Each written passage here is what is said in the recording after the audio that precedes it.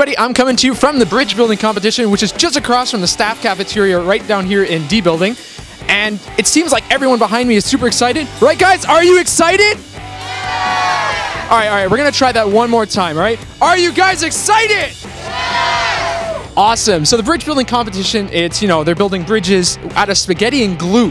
And they're to see how much weight they're to be able to hold. So we're going to check that out right now.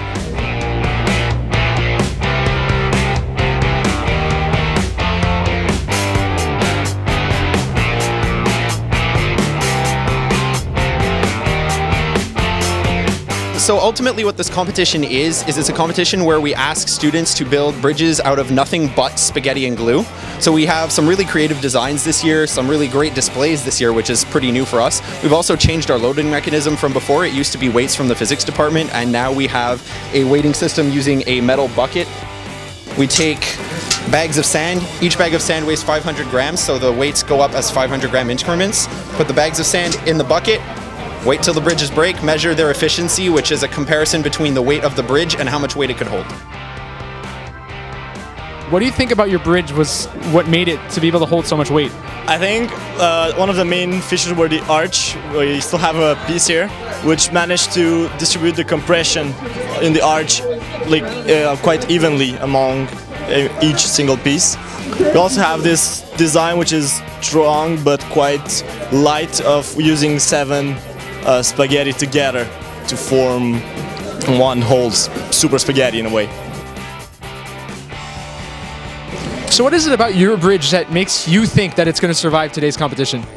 Well, I'm representing Andrew Libero and his bridge, and what he his strategy into this was using the power of the mind.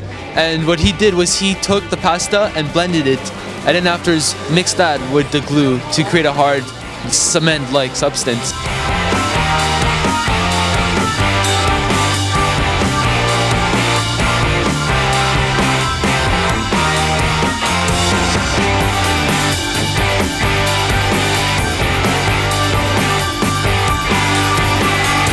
So as you can see, the bridge building competition was pretty intense. The winners are on their way home with some pretty great prizes, and the losers, well, they're on their way home to make spaghetti with the remains of their bridges. For VTV, I'm Alex Dojda. Huh. I wonder what would happen if Michael Bay directed this episode of VTV.